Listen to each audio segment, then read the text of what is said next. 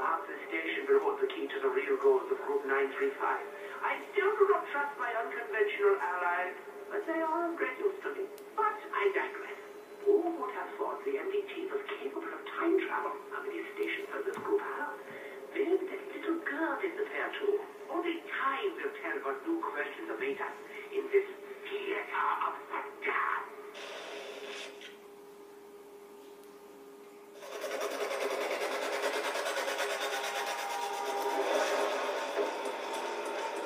The power needs to be turned on.